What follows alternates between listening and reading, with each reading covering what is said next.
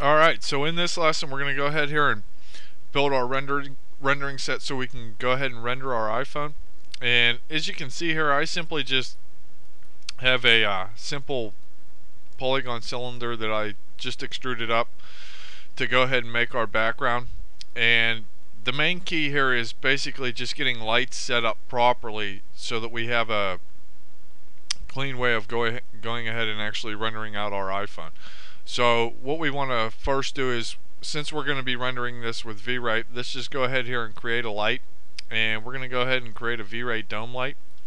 And we're just simply going to go ahead and scale this up a little bit here. Okay. And but we're also going to change the subdivisions here to like 12 should be good. And we're also going to change the intensity multiplier down to like 0.2 and that should be fine for us so let's just go ahead and scale that up to encompass the entire portion of the background.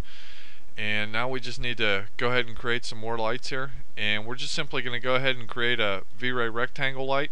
Now you can't scale this inside of the viewport because if you scale it inside of the viewport and the light shape itself this is going to make the intensity of that light come out extremely heavy. So you need to go ahead here and it in the parameters of the light shape. So we'll just put this up at say 10 for the U size and 10 for the for the V size.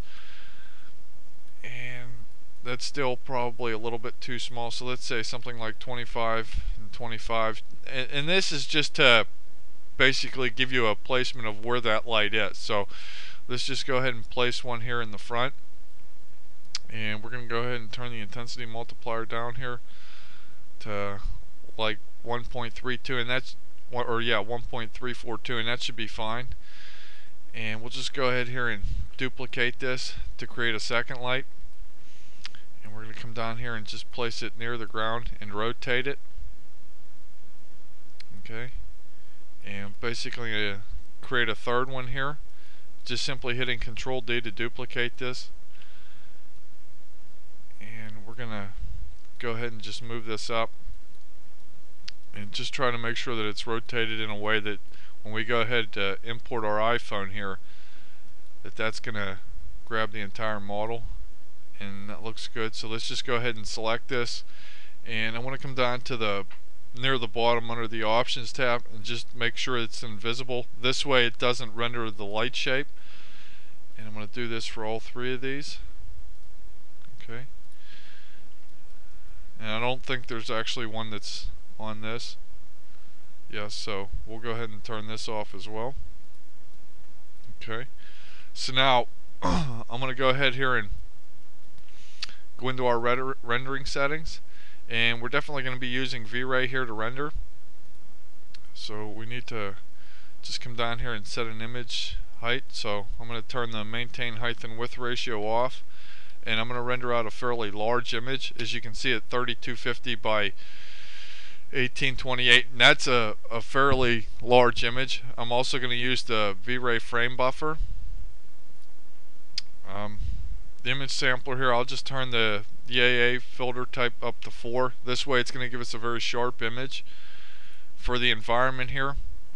Uh, I'm definitely going to override the environment and change the GI texture here. And we'll just simply bring in a file node. Okay and I'm just going to use an HDRI that I typically use a lot. And I think it's this one. Yep. Uh, for the in indirect illumination you have to turn on your global illumination for that image to light your scene. I'm not really going to change anything here under the the settings tab so we can just simply keep those off there. Now, for our render elements, I uh, want a couple different passes here. So, I'm going to come over here on the right side and create a new render layer. And we'll just simply name this uh, master killer layer. Okay, and I have to open up the hypershade or uh, sorry, the outliner here and I'm simply just going to select everything and add that to the new master render layer come into the hypershade here. This will just take a second to load. And I'm going to go ahead and create a new V-Ray material and this is going to be for our background. So we'll just go ahead and apply this. And I'm going to use a file node for the color here. And as you can notice I'm always turning that filter type to be completely off. Okay so we'll use that one go ahead and minimize this. And we will go ahead here and import our iPhone. And it's this texture final. And as you can see it doesn't show up and that's because I have the master color layer selected. So let's just go ahead and select our iPhone there. And we're gonna go ahead and add that to the master color layer. Okay. Just go ahead and scale this up here and I just want to make sure I get this placed properly. And I'm going to come over here to our rendering tab create a new camera. Just make sure I can uh, look through this camera. And I'm going to come over here to view turn on our resolution gate and this is going to give us what's actually going to render out. And this is going to be important so now that we have our iPhone basically imported here this isn't going to render out smooth. There's a couple ways you can do this you can either come under the attributes of it here. Just have one selected and simply just add an attribute under what is the the actual shape node here. And you would have to add a subdivision but this tends to do it globally and I don't want to do that. I just want to do it per model because if you do it globally it's going to tend to take an excessive amount of time. So I'm not going to turn that on. What I will do is just simply select the entire model group come up to modify convert smooth mesh preview to polygons and this is going to add a smooth mode on top of our our mesh. And as you can see there it's going to be fairly smooth and whenever this renders out this is going to render smooth. So now that we have all that set up let's go up and create some of our render passes here.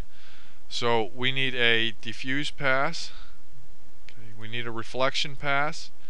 We also need a specular pass and where is the depth pass should be Z depth right here.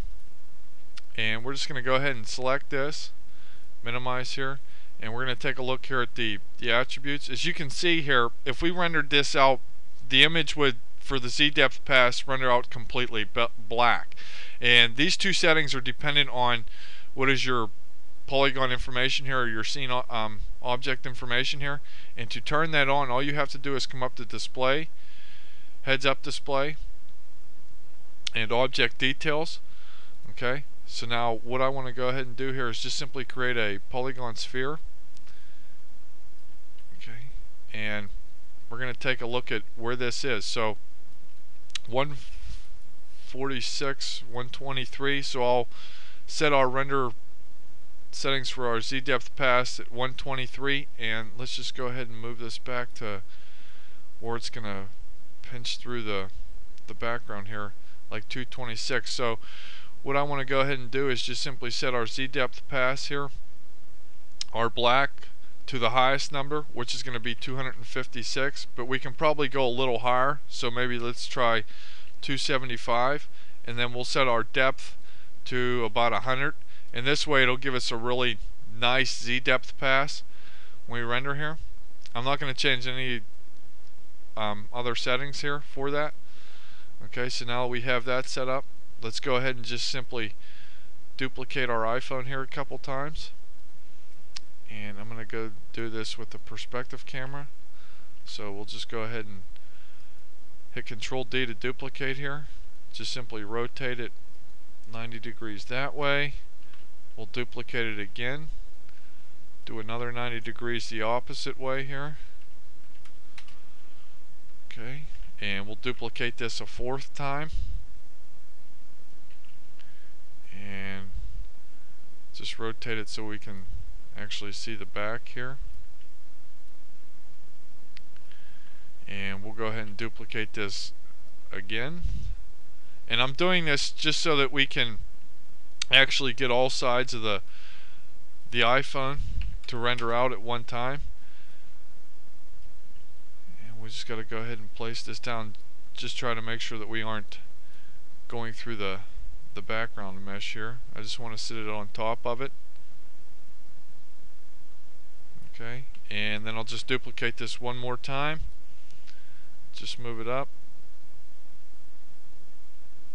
And we will rotate it 180 degrees here.